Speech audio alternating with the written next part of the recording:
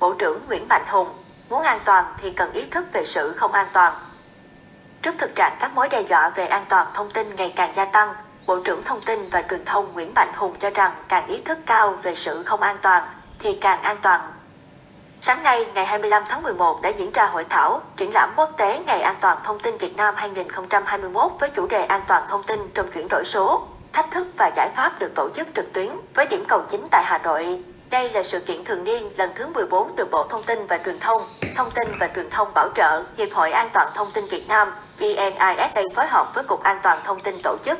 Phát biểu tại sự kiện, ông Nguyễn Mạnh Hùng, Bộ trưởng Thông tin và Truyền thông, Thông tin và Truyền thông cho biết tình trạng lừa đảo trực tuyến tại Việt Nam và trên thế giới đã tăng mạnh trong giai đoạn dịch Covid-19 khi chuyển đổi số được thúc đẩy. Trong khi đó, ông Nguyễn Thành Hân, Chủ tịch Hiệp hội An toàn Thông tin Việt Nam cũng nhấn mạnh về những thách thức trong bảo đảm an toàn thông tin, an toàn thông tin cho chuyển đổi số và khẳng định trách nhiệm, nhiệm vụ của các doanh nghiệp an toàn thông tin của Hiệp hội trong việc góp phần thúc đẩy quá trình chuyển đổi số, tạo dựng niềm tin số cho xã hội tại Việt Nam.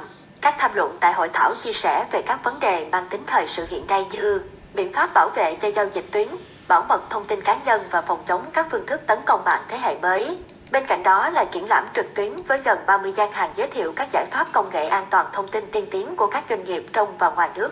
Vấn đề an toàn thông tin là điểm nóng trên toàn cầu tại sự kiện. Ông Nguyễn Thành Phúc, Cục trưởng Cục An toàn Thông tin, Bộ Thông tin và Truyền thông trích dẫn một báo cáo cho biết trung bình mỗi năm, mỗi người trên toàn cầu bị từ 3 đến 4 cuộc tấn công mạng. Trong khi đó, rất nhiều thiết bị cá nhân của người dân chưa được trang bị đầy đủ khả năng đảm bảo an toàn thông tin.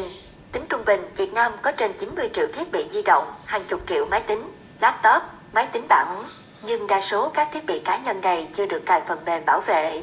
Ngoài ra, chúng ta cũng có gần 3 triệu camera, nhưng rất nhiều trong số này chưa được đánh giá an toàn thông tin và chưa cài phần mềm bảo mật. Từ đó đã khiến nhiều hình ảnh riêng tư bị lộ lọt trên mạng. Ở Việt Nam, theo thống kê từ tháng 12 năm 2020 đến tháng 11 năm 2021, Cục An toàn Thông tin thuộc Bộ Thông tin và Truyền thông đã phát hiện và xử lý 816 website lừa đảo, giả mạo ngân hàng. Trong khi đó, trên thế giới hiện có hơn 2 triệu website lừa đảo. Trên thế giới, mới có 60% dự án phát triển phần mềm áp dụng quy trình phát triển, đánh giá an toàn thông tin rồi mới vận hành. Trong khi đó, ở Việt Nam, con số này còn thấp hơn rất nhiều. Nếu những phần mềm này là các nền tảng số quốc gia, thì hậu quả sẽ là rất lớn. Bộ trưởng Nguyễn Mạnh Hùng nhận xét, phải có các sản phẩm an toàn thông tin Made in Việt Nam trước thực trạng các mối đe dọa về an toàn thông tin ngày càng gia tăng.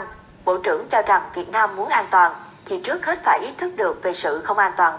Tức là càng ý thức cao về sự không an toàn thì chúng ta càng an toàn. Tuy nhiên, muốn an toàn thì phải dùng nhiều hơn chứ không phải không dùng hay dùng ít đi công nghệ số. Bộ trưởng nhấn mạnh, bởi lẽ chỉ có dùng thì vấn đề mới bộc lộ ra và từ đó hoàn thiện.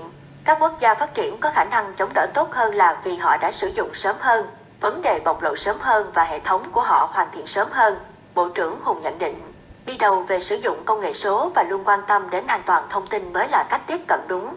Trước đó, Bộ Thông tin và Truyền thông đã đưa ra khuyến nghị về mô hình 4 lớp để bảo vệ các hệ thống công nghệ thông tin bao gồm nhân lực tại chỗ, sự bảo vệ của doanh nghiệp chuyên trách an toàn thông tin, sự kiểm tra tuân thủ của doanh nghiệp kiểm toán an toàn thông tin và sự giám sát của Trung tâm Giám sát An toàn Không gian mạng quốc gia. Ngoài ra, muốn an toàn thì phải có thì phải có các sản phẩm an toàn thông tin Made in Việt Nam, vì chuyển đổi số quốc gia là toàn dân toàn diện, là tất cả các ngành các lĩnh vực và mọi người dân cùng nhau chuyển đổi.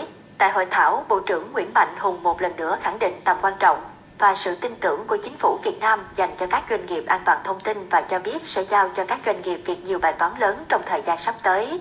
Bộ trưởng cũng lưu ý rằng an toàn cần phải được xuất hiện trong mọi khâu, từ phát triển đến đánh giá và sử dụng, không được coi nhẹ ở bất cứ khâu nào.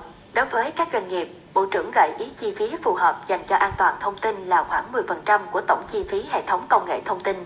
Đối với các đơn vị truyền thông, cần lan tỏa hơn nữa để gia tăng nhận thức của người dân về an toàn thông tin.